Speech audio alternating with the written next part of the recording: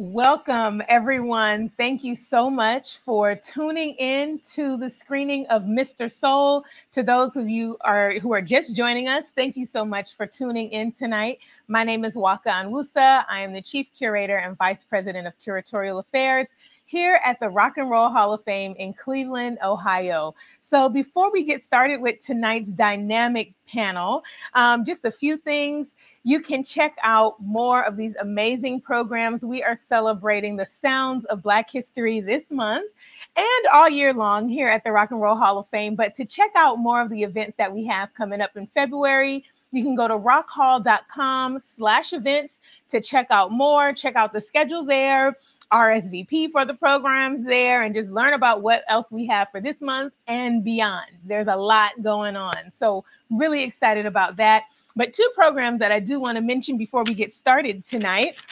Actually, we have a program on Monday, February 22nd at 7 p.m. Eastern with uh, the authors Daphne Brooks and Maureen Mahone talking about Black women in rock and roll, a discussion. So excited for that. So make sure you check out rockhall.com events for that program. And then on Friday, February 26th at 7 p.m. Eastern, we have none other than Robert Randolph with the Family Band doing a, who did a live performance here at the Rock and Roll Hall of Fame and discussion. So you can check out more again at rockhall.com. If you are in the Cleveland area, you can check us out live. We're open seven days a week, um, and you can check out the times more on our website. So without any further ado, I want to stop talking and get into this amazing and dynamic conversation that we have tonight. So, without any further ado, please help me in welcoming our first panelist for tonight, the one and only Rock and Roll Hall of Fame inductee, bassist extraordinaire. Please let's welcome Mr. Verdine White to the stage. Hey, hey, hey, Walker, how are you? It's so good. It's so, so good to have to you, here. Thank yes. You honored to have you here. Next, I'd like to bring to the table, to the conversation, singer, songwriter, performer, actress, entrepreneur, none other than Ms. Patti LaBelle. Hi. Ms. Patti LaBelle. Hi, welcome. How oh, are you? I wish I could be there in person. I, I, know, right? Wish we all could be here in, in person. I know. We're doing the best we can. Thank you. We are. But thank you so much for joining us tonight. Our next panel for this evening is the filmmaker and the visionary behind this amazing documentary, Mr. Soul. Please help me welcome Melissa Haizlip. Hi, hey, Melissa. Oh, it's so good to see you. So glad to be here. Oh, wonderful. And last but not least, our moderator for this evening, Trailblazer and shero. Please help me to welcome Miss Stephanie Rance, the found the co-founder of let me get this right, Run and Shoot Filmworks. Get it right. All right. There we go. Stephanie, welcome. Thank you so much to all of our panelists. Thank you. This is this is going to be a great evening. You know, every time I see uh, Melissa's film, it just blows me away, and I'm just so disheartened that I didn't see this when I was a child growing up in New York City. Although I was a baby, I can't believe I didn't know about this amazing show. But I'm so glad we're going to unpack it and talk about it with Miss Patti and Mr. Verdine. I'm super excited about that. But before we get to the three of you, Waka, I want to ask you a couple of questions. Tell us about your role at Rock Hall and your plans for more, rep- for more representation from a, from a multicultural standpoint. Absolutely. Well, again, um, you know, being in this role as the chief curator and uh, vice president of curatorial affairs, we are, you know, a, a, staff and team of storytellers. You know, we're here to shape the narrative, to redirect it for, uh, you know, to reflect the future, to reflect the times that we're living in. Um, and that's really what my goal is. You know, I, I'm honored to be a curator in this role at this particular time that we're living in right now. Um, you know, we all have our levels of activism. We have all of our levels of how we encourage, inspire, and influence. And this is my stewardship. I'm honored to be in this role. So, not, you know, it's not that we don't tell these stories um, of black musicians or, or BIPOC, you know, musicians of color. But my goal and my mission um, in, in my tenure here is to just amplify those stories, amplify these narratives. And that's what we're doing here tonight. Well said. And just to give a little backstory, you know, the way that we hooked up was just so it was like it was meant to be when you and I started talking. Shout out to G for making that happen. Yes. you know, it was just, you know, I would tell him, I was like, Waka is just so delightful. I really like her. And, you know, I came to you with this amazing film, Mr. Soul. I thought it was going to be a great fit. And I was so excited that you and the rest of the team at Rock Hall was like, yes, we have to do this. We have to tell this story. We have to salute Melissa Haizlip. We have to salute Dean and Earth, Wind and Fire, Patti LaBelle, and everyone else who was uh, who was on this amazing show. So I want to, I just want to say thank you for doing this. I definitely appreciate that. So Miss yeah. Melissa Haizlip, my sister, I've known you for a long time.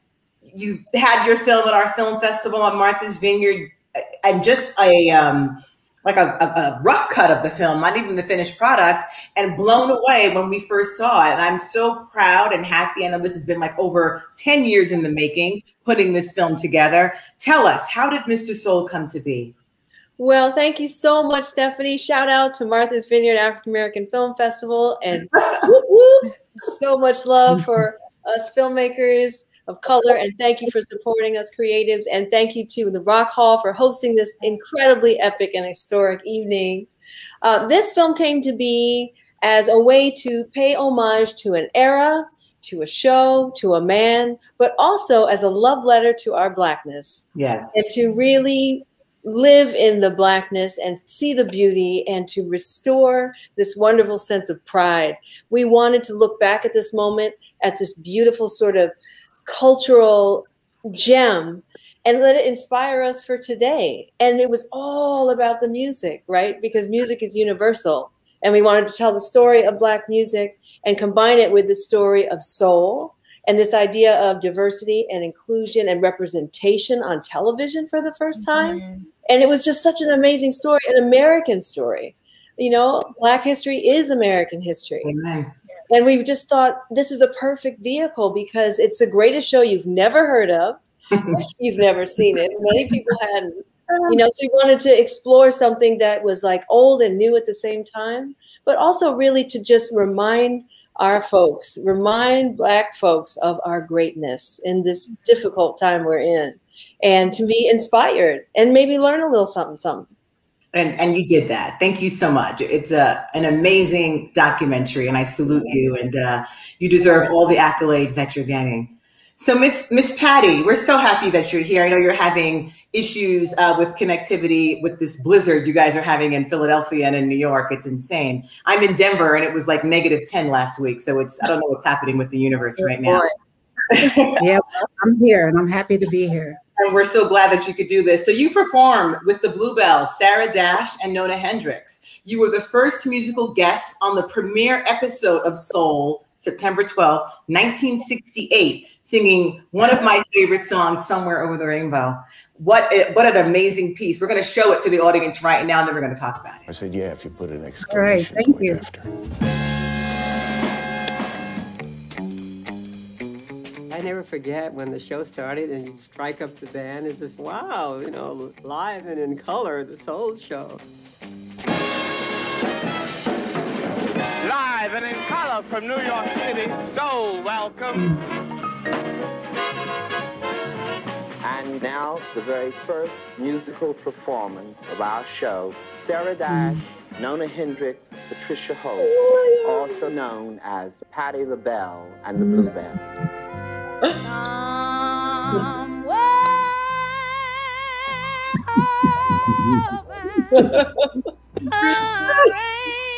Oh my God.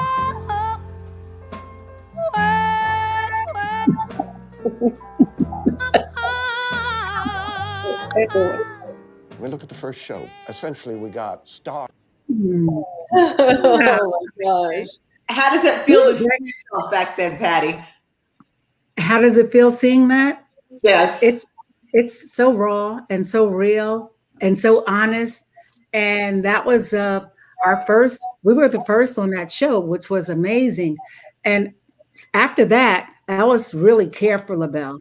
Uh, and he would have us on the show so many times. You would call the LaBelle show. They used to call the LaBelle Soul Show, Soul Show because he had us on so many times as Patti LaBelle and the Bluebelles, uh, Patti LaBelle, LaBelle, the baby LaBelle, before we started wearing the outrageous uh, clothing and all that drag.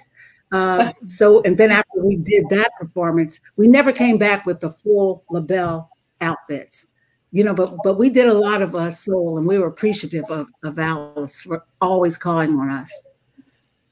Did you realize that you were making history at that time? Did you did you even think that what Ellis was doing was going to be so groundbreaking? He he was such a visionary. Mm. Well, we were hoping, but I never thought that it would be that big, you know. And when you do something like that, being the first act on a show like that, you pray that it'll go on and on and on. Because he was the reason that black folks were able to show their talents, mm. because he showcased everybody black. He he had us, you know, really happy for his platform because we we got away with uh, people seeing us who never saw us before, you know. And, and like I said, it was a black show, but there were some white folks watching you know, all kind of folks were watching the show. Yes. So how did he find you all? Like how did how did that happen? How, and and you said you all said yes. Tell me how this how that process was. I have no clue. now he found us. Now the one that you could ask that question would be Sarah Dash. She uh, remembers everything, everything about everybody and the time it happened, what day, what year. Uh, so I would have to ask Sarah that. So okay. I have no clue. I was just happy he found us. Well, it was an amazing performance. So it definitely, you know, we could tell that you guys were stars in the making. So salute to you Thank as well. You. So, Mr. Verdine, you, you yes. and Earth, yes. Wind, and Fire, January yes. 10th, 1973. Epic yes. performance. I want to show it before we talk about it because you are doing your thing. So let's show that.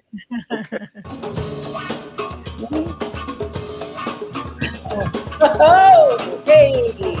Right.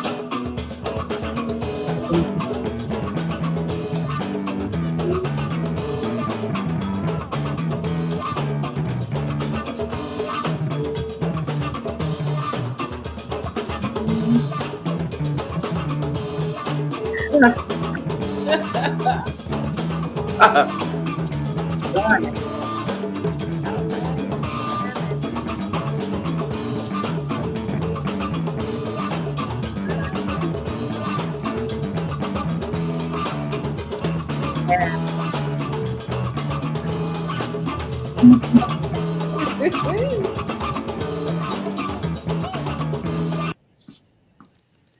you were doing it. yes, jamming, jamming.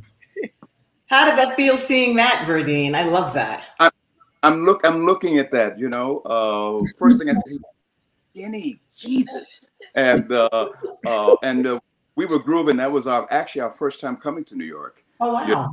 And uh, we had just signed with Columbia Records. We had just put out the Last Days and Times uh, record. You know, the mm. album.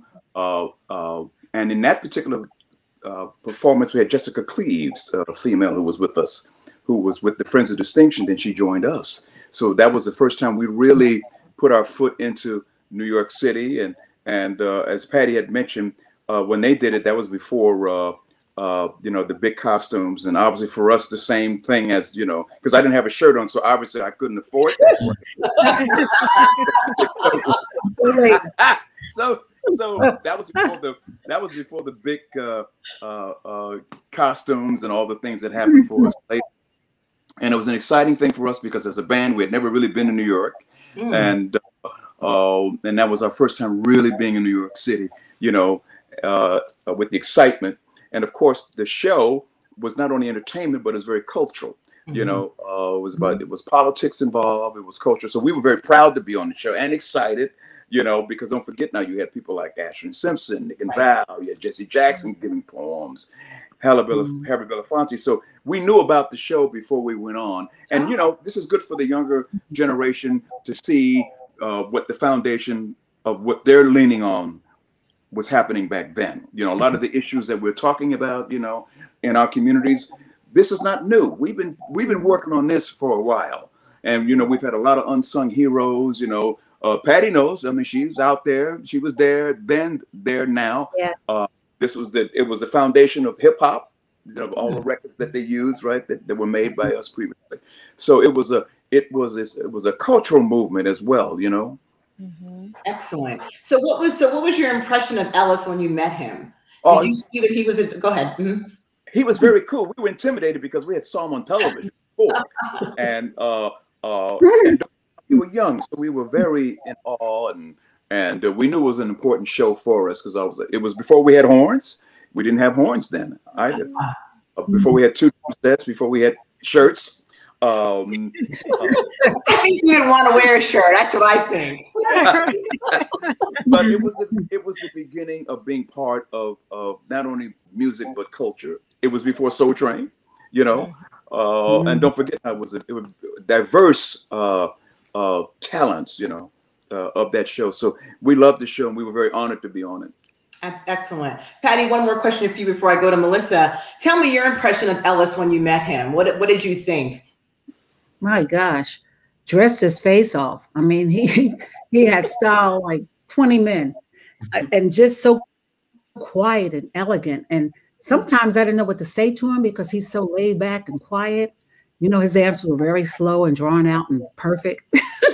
so it was just amazing being around him with all of that talent, but very soft spoken and mm. just an elegant man, just an elegant man.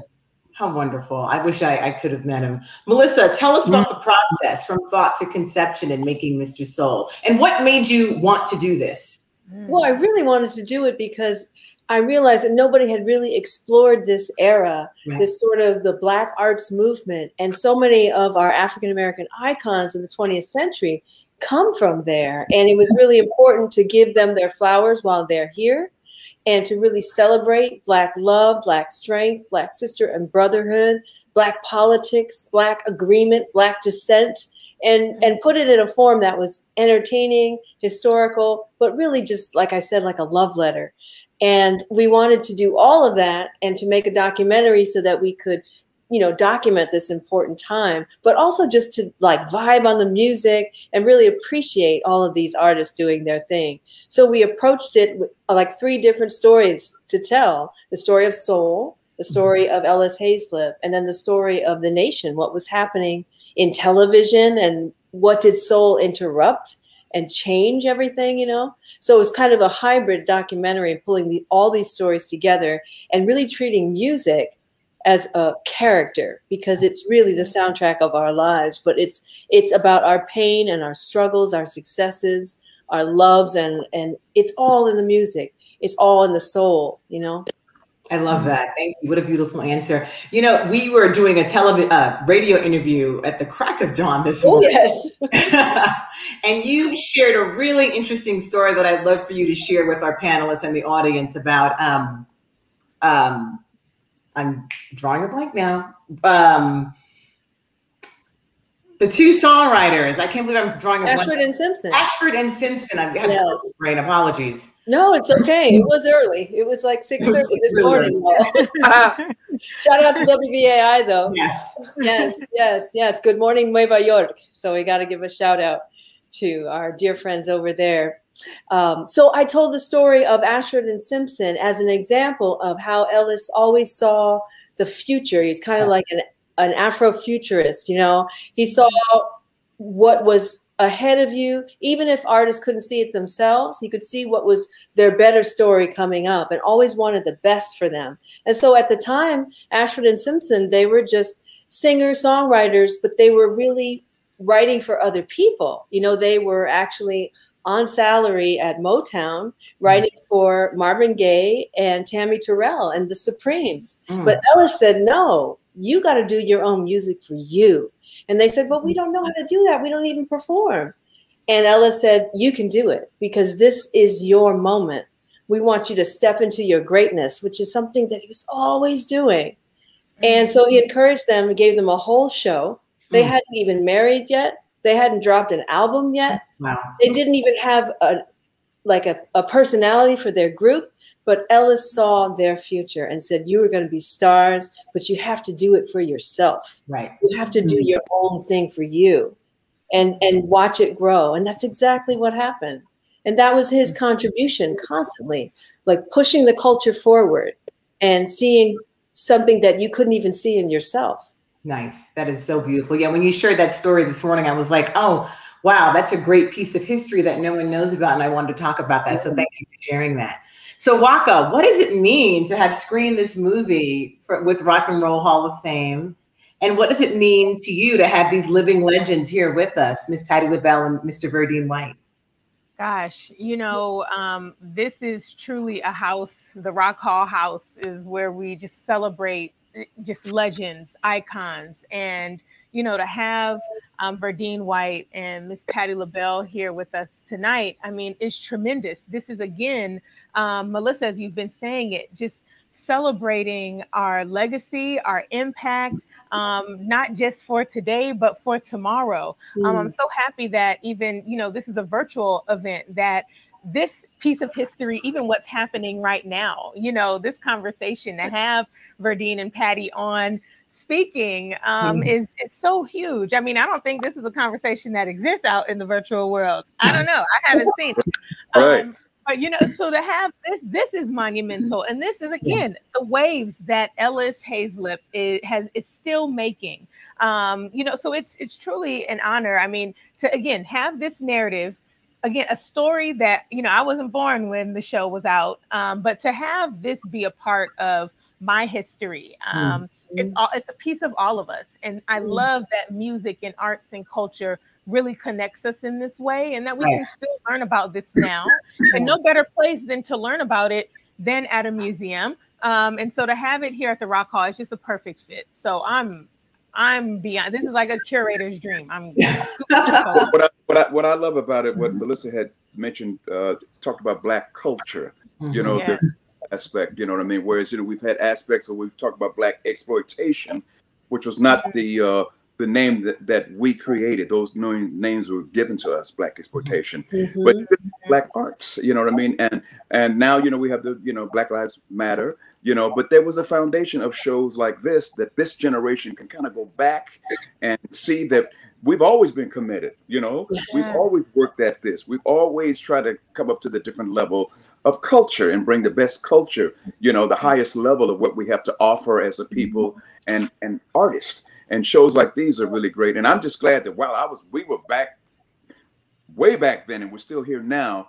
And uh, uh, who knew what was going to happen for us? Had no idea the things that happened for us uh, started back then. You know, so right. it was a, we were in the right place, right time, in the right show.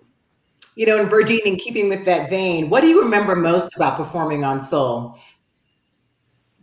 The audience, because don't forget now, New York is cool. They're you know they're hip, you know, and uh, and that was like before disco, so everybody was like hip. You know what I right. mean? It was a cool thing. If you got on that show, you were like really cool. You were like really hip. You would you were you were taken seriously. That's what I'm trying to find the right words. You were taken seriously. And of course, you know, we were after that. Of course, in the beginning, Maurice played the Book, which had never been uh, played on national television. And I think our that show was ran, I think about eight or nine, ten times in New York City. Wow. Yeah. Wow with WNET, I think, right? WNET. Mm-hmm. Mm-hmm. Excellent. And Miss Patti, so, and I know we've been talking about this, but I'd love to hear it from your voice as well. What made Soul such a revolutionary platform for Black artists? Oh, wow. It was, I'm sorry, with finish, honey. I said, what made Soul such a revolutionary platform for Black artists, in your opinion? Well, in my opinion, as I, as I said, we performed on that show so many times, and Ellis always wanted us to go forward and grow, you know, as he did uh, Nick and Val. Um, and so we had a chance to do his show, and we did Nina Simone's Four Women, and he lost his mind. And so did we in the audience. I mean, it was so, it was like groundbreaking for uh, for us to do that song. And also, The Revolution Will Not Be Televised by Gil Scott Heron. We, we did a lot of that growing on his show. And the audience, as Verdi said, they were very laid back and they're right in your face. Like you, you could sit on the audience lap. They were right there. That always makes you feel some type of way, like they're gonna see my stocking tear or whatever. Oh, it was just so close and personal, up close and personal, and so raw. so raw. Yeah, we we learned a lot on that show. I don't think there's anything like that ever since Soul. Do you guys agree with that? Do you think there's any other show that really? I agree. Absolutely, Nothing. absolutely, absolutely. Interesting. Wow. Mm. So Melissa, let's talk about your relationship with with with Ellis. How did that impact your choices in making the film? Well, I had grown up with Ellis since I was a little girl. He was my very first babysitter. Oh, So wow. that was convenient because I fell in love with him very quickly. but he also brought people to the house uh, as a convenient way because I was a kid and he could bring other kids. So he would bring people like Betty Shabazz, you know, after we lost uh, Malcolm. He brought Betty and took care of Betty and brought the kids. And so I was running around under the table with Malcolm X's children. We're still friends to this day. It was a very, very special time. And getting to meet artists like Nikki Giovanni and mm-hmm. performers like Melba Moore and Clifton Davis. These were all people that were at my apartment, you know, when I was really little, and it impacted me. I saw the magic in the arts. I saw these people that seemed to just vibrate, you know, this whole thing about vibrations on another level. And it inspired me and encouraged me to become an artist. And he said to me, you know, you're the one, you're definitely going to be an artist from hmm. a family of educators. And so I, I felt like he was pushing me forward.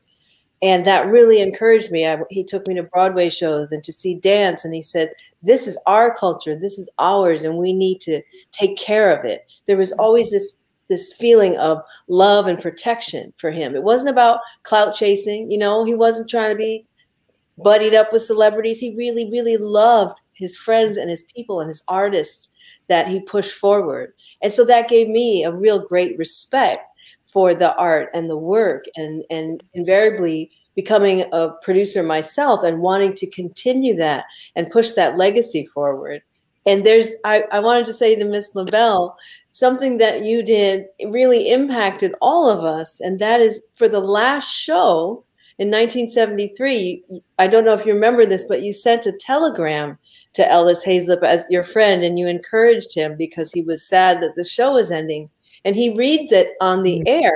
Oh, It's actually in the oh. film. And he, what you wrote was although it's over, it's not the end. Black seeds keep on growing. And even though those were the lyrics, of course, from you know the main ingredient song, "Black uh-huh. Seeds Keep on Growing," it was so profound. And wow, thank you for telling me the that. whole film is built around this idea that we are the black seeds, and we have we have to keep putting out our seeds, and we have to keep growing and and curating this garden and pushing mm-hmm. forward the legacy generation after generation. That's for sure. Thank you for reminding me. I did do that. I remember that now. Wow. oh, wow. You know, what's about these platforms, uh, it gives an opportunity for the the uh, the current generation and the future generation to take a look at so, shows like Soul. You know, these Mhm. platforms are valuable because without these platforms, they would never know. You know, a lot of things can get lost in history, and a lot of the new generation might not be educated as to all the work that was done before they got there. Sometimes they think that they might be the first one, you know, that you know that marched, might be the first one that you know that were committed, that dealt with all the different issues in our society, from you know uh, the arts and jobs and women and, and kids, and it, this was here before. You know, this was here before. You know, and this is great that it's going to be here. Uh, they can go to the Rock and Roll Hall of Fame, and they can pull up on these platforms and see what was here before them, and be and be inspired too. And be Right. inspired. Yes. Most certainly, absolutely. And you know, since we're sharing stories, I I, I want you, uh, Waka, to share one of your favorite Verdine stories. And I'm going to share a Patti story that she didn't even know that I knew. it, But go ahead. What I do, Walker? What what I do? What I do? G-rated, Waka. Tell us that. No, you know what, Melissa, it- it- you said something so profound in starting this conversation that soul, this is a love letter to the music. And there is a friend, a mutual friend that Verdine and I have, Mr. Bruce Talamon. Oh And yeah, Lucy. Yeah. and I, I mean, so his book, Soul, Funk, and R and B. I mean, some of these moments which are captured, and, and when we're talking about the celebration of of Black art and culture, um, Bruce was able to capture Yeah. those Right. moments through his photography. Mhm. And Verdine and I, I had a chance to literally for real be not a fly. Well, I was a fly on the wall here, but but I, I curated the show. That's but right. to see but to see Verdine and Bruce have this beautiful conversation, I mean, that was such an honor just to even be in the room. I've, you know, had these beautiful moments of obviously seeing Earth, Wind, and Fire perform and um and these great moments, but to have that conversation and Verdine see seeing you reflect on these moments and the impact and to really understand how you've made such an impression on our culture on this globe. I forever Mhm. am just grateful for having that experience and just to- hey, I was in the back, I was holding your bag, I was holding your You're holding my, that's right, you're holding my I was holding right? a bag. It was a Prada bag, bag. I was like, you know what? Let me. I was. It was a proud moment, and but just to truly have that story, that's forever with me. And so you are truly a love letter to the music as Well, well. thank, so that, thank you. Uh, uh, Bruce and I very Yeah. close. When This pandemic is over. We have a plan on touring this around the whole country. Oh, yes. you know, and letting people see this book. Uh, I give this book out as gifts to people. And uh, uh, the book actually started, you know, as Bruce said, you know, with Maurice, myself in my living room, because Maurice thought that should be documented, you know, of, of, of artists, you know. And uh, uh, and you had Rick James doing stadiums, things that people don't know. We might think that Beyonce and them are the only ones, but this was going on before. No, no disrespect, you know. Uh, but this book Right. sort of shows everything about touring, and and Patti's in there. They're all, we're all in the book, and and and and Bruce, because of that, uh, is only the second uh, African American in the National Portrait Gallery as a photographer Oh, Yes. you know, and he was inducted in when we were in last year, the National Portrait Gallery, and then a week later we got the Kennedy Center honors, and a lot of it had a lot to do with Bruce, and and I was able to thank Bruce, you know, and from the audience and things like that, and the other photographers that were there were taking his picture, you know what I mean? And, and- and so it was it was so, but it started with Walker at the. Uh, uh, at the, the Grammy Museum, and it was and it was wasn't long enough, you know. what I'm talking about? Never long enough, but it was a great. Mhm. Yeah. That's a great story. Thank you for sharing that, Nwaka and Beautiful. you, Verdine. So, Miss Patti, you're not going to know this story, but I started my career as an assistant at uh, EM, SBK EMI Records, and I worked for Don Rubin and Charles Koppelman. And Don Rubin had the idea to do duets with Frank Sinatra, and you, and you Oh, did yeah. Bewitched, Bothered, and Bewildered. Do you remember this? Oh yes. One of I my don't know. I remember we were in New York at the, I think it was the Hit Factory, and you were there, and you did it, and you had, of course, all this food. And I, the first time, I, the biggest shrimp cocktails I've ever seen in my life, and you were just so oh, gracious, wow. and lovely. And what you don't know is that once you recorded that, Don and Charles would play that song every day in the office so loud that because we were on the 42nd floor, we were all the way up top, 96th Avenue, and the people on 41 and 40 would come up and complain because Don would play it so loud. You did your thing on that song. Thank you. I appreciate that. I love singing that duet with Frank. Um, not together, we were. I was in that room, you know, with that. He was on the screen and whatever. But you know, back in the day, and just hearing after he heard it, he said he brought all of his friends to his house and said, "You That's have to hear this." And I was so impressed by hearing that story. It was wonderful. One Yeah. of those moments, honey. Yeah. Well, thank you for, for being there. I was just a little assistant then, but I was just so happy that I was in the room. And you know, your track was one of my favorites. I mean, you really just belted out that song, and I'm telling you, they played it every single day in the office, and it was just such a great Nice experience. clear. Thank you so much. All right, so we have some questions in the chat. I've got to put my readers on because I'm a lady of a certain age now. So, Melissa, for you, I love the score of the film. Can you tell us who composed that? Yes, the score is extraordinary. The score is everything. It's by the most incredible composer, Robert Glasper. Yeah, glass. Glasper is just the Yeah. bomb, and he, you know, shout out to Robert Glasper and and bringing in, especially we wanted to have, you know, we started the film. The first song you hear after the Al Green intro is Donny Hathaway, mm-hmm. and we wanted to start the story with Donny Hathaway, And after we tell the journey of soul, the journey of soul music, we've got to end it with his daughter, Lalah Hathaway. So Robert mm-hmm. Glasper wrote this beautiful song called Show Me Your Soul together with Muhammad Ayers and Lalah Hathaway, and she's singing it. And we just love Robert because he was able to bring in all these elements because, you know, he comes from gospel, he comes from soul, he comes from Mhm. R&B, he comes from jazz. everything, jazz, hip hop, everything, fusion.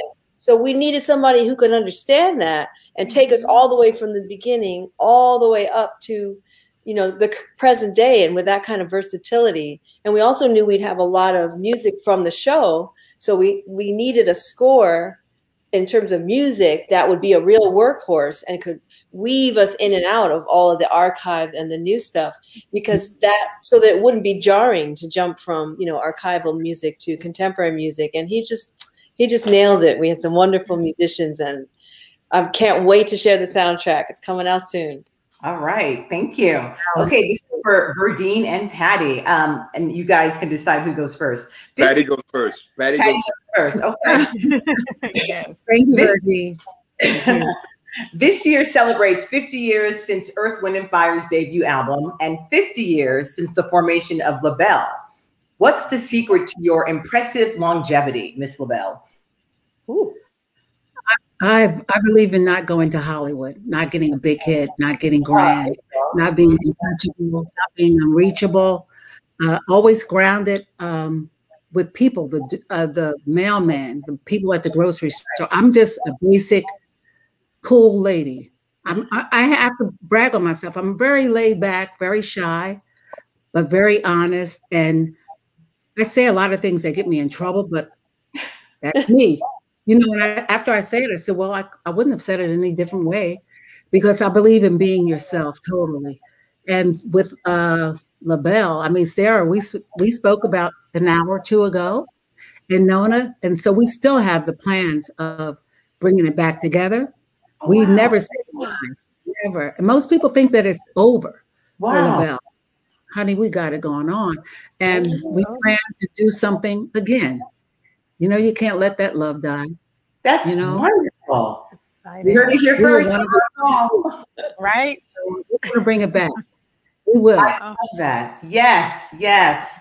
Did I answer your question? say that again. Did I answer your question? Of course you did. Absolutely. And Great. Virginia, same question for you.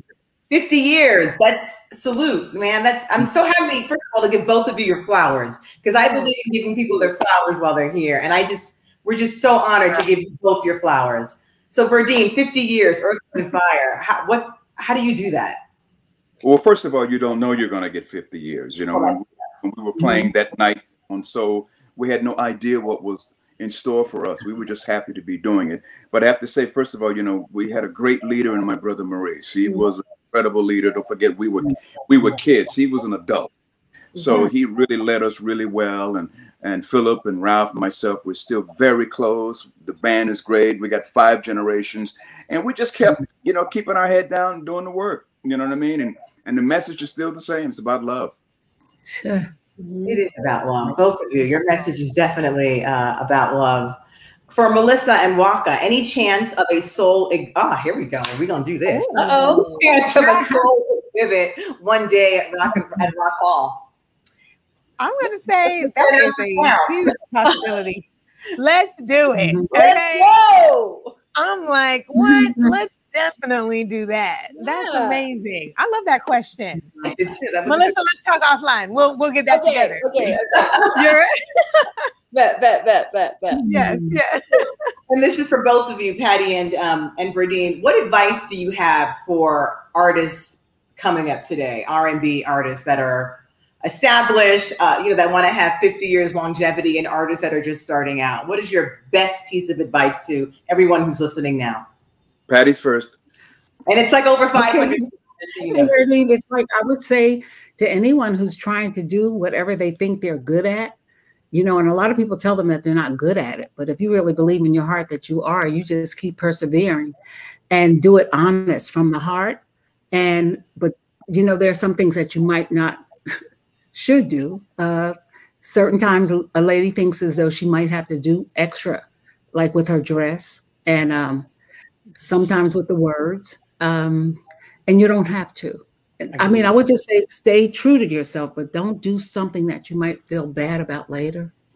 You know, and uh, go out there and get them, get the world, because the world is open for new artists and new sounds and new everything. But be a little, well, just be yourself. I'm not going to say what I was going to say, but Bernie was talking about, but I can't say it. But you know what I mean.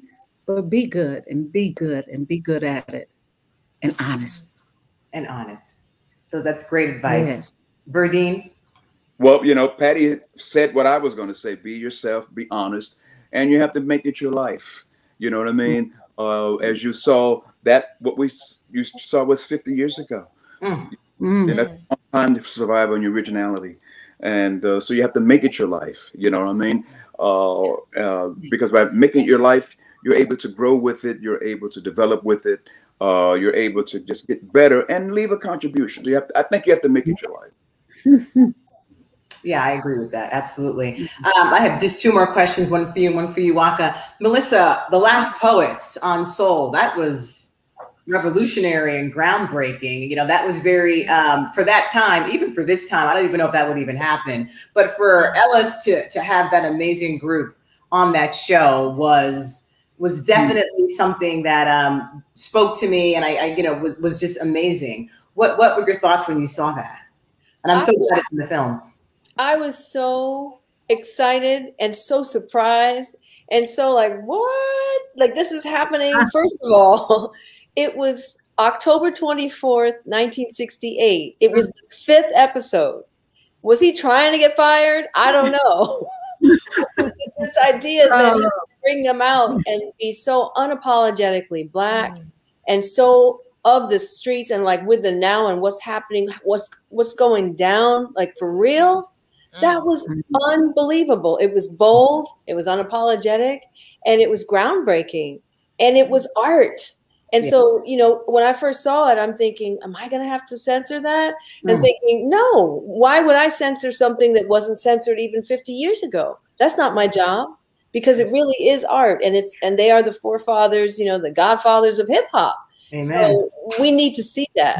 We need to understand. We need to honor the source. You know, that's something that means a lot to me. Honor the source, honor the source, the source of everything, the source of hip hop and life and truth and and all the poets that came from that nikki giovanni sonia sanchez you know mm-hmm. this is our, this is who we are these are our griots yes and these these are our storytellers and now we can say you know, Black Lives Matter and Black Stories Matter. Tell mm-hmm. Black stories was I remember your hashtag. Tell Black stories and let us be the ones who tell it. Yeah. Because it's mm-hmm. all about authorship as well. It's Absolutely. all about representation as well. Absolutely. And and and it all starts there with that truth, that golden piece of truth. And I love that clip because everyone's looking a little uncomfortable, like, "Woo, okay, okay, we're doing this." Okay, but that even that, like, someone told me you should cut that and just get right to it. I'm like, no, you need to see the oh, discomfort. Yeah. You need to see the, what they're like uncomfortable sharing the truth, but they know they got to do it. Right. And I don't know that we would ever see that now because there's, mm. you know, uh, investors and there's commercials and there's mm. other things that would guide what you can and can't say. But I think it's really beautiful. I think it's emblematic and I'm so proud to have the last poets in the film. They are real strong supporters of the film, and they were grateful because it was their first time on television too. Can you imagine a poet and getting to be on television like that? You know, Ellis saw it as high art. Yeah. You know that, and I agree with you 100%. It's funny. Bruno Mars did a post. I don't know if it was recent, but it was posted today. And he said, you know, when you think of rock and roll music, mm-hmm. you have to understand that every all music comes from the motherland. It comes from Africa, mm-hmm. whether it's pop, soul, hip hop, jazz, R and B. It all started with with that African beat. And do you all agree with that? Absolutely. Uh, well, uh, where, well, as you saw in our segment, you had the kalimba. That's right. Mm-hmm. You know, and they call it the African thumb piano. You know, and Maurice was the first one to introduce the kalimba to popular commercial music. Mm-hmm. Mm-hmm. Sure was. Absolutely. So oh, we've got another question in here. What can fans do to support the film? It was simply incredible. Tears in my eyes watching it. Oh. Well, what fans do? Go ahead, Patti. People have to watch it. I mean, it was an excellent uh, film, um, beautiful. And like I said, Ellis gave life to those who were afraid to show their life, Right. uh, like the poets, you know. And when I saw that part, I said, "Oh, go!" And they said what they had to say. So he gave people uh, reasons to believe in themselves, you know. And don't be afraid. Don't shy back from something that you think might be gross. Just give it out, you know. And that's what this film is wonderful. People have to see the film. Absolutely. Absolutely. And last question for you, Miss Nwaka. So what's next for Rock Hall? And thank you again for having us all and for and for giving us this platform. Absolutely. I mean, Mm. this was truly an honor, and this is what we're here to do. This is what institutions are supposed to be doing. Right. Um, sharing these untold stories, hi- highlighting Yes. and amplifying the the unsung heroes. Ellis Haizlip, I mean, is definitely one of Mhm. those pillars that we need to be amplifying. Um, I will have to say, you know, this perfectly aligned with um, an exhibit that we have on display now. It's been said all along. And to Verdine's point, to Miss Patti's point, this, this work has been happening. You know, this is not 2020 was not the start of it. You know, the murders and the and the rioting and, or in the protests that we saw just of last year, that was not the first time. That's right. Sadly. I mean, this has been going on and we are standing on some heavy shoulders. So right now we have an amazing exhibit on display and on um, online virtually where you can just learn more. And these stories of Ellis Haizlip and of, of Earth, Wind, and Fire's impact, of Patti LaBelle's impact will be added to um, this exhibit. So that's one of the things that we have coming up. And you can just always go on rockhall.com to check out what we have um, for events, exhibits, and all of that great stuff. So, Thank you for that. yes. And for the both of you, what's coming once we can, you know, meet again safely? First of all, dinner's at Patti's house when we can all meet. That's right. That's right. Absolutely. sure. Absolutely. okay. Anything you and we're going to Patti's house for dinner. That's number one. Absolutely. right, sure. What's You're next for Earth, and Fire, uh, Verdine? What What do you guys have on the plate after You COVID? know, we are all, you know, we're all dealing with this pandemic, of course, all the artists, you know, speakers, you know, from every walk of life. So when when those doors open, we will knock them down and you will see us. Fantastic. Ditto. The ditto. All right. And on Right. ditto. Wow. I want to thank Really? everyone for joining us this evening. Verdine White from Earth, Wind, and Fire, Nwaka Onwusa from Rock and Roll Hall of Fame, director extraordinaire Melissa Haizlip, and the one that I call my sister. We thank Miss Patti LaBelle for giving us her time this evening and sharing her wonderful stories of Mr. Ellis Haizlip. Thank You you. guys support this film. It's an amazing film. I'm Stephanie Tavares Rance, and I wish you all a good night. Peace, love, Thank and you. soul. Right. Oh, yes.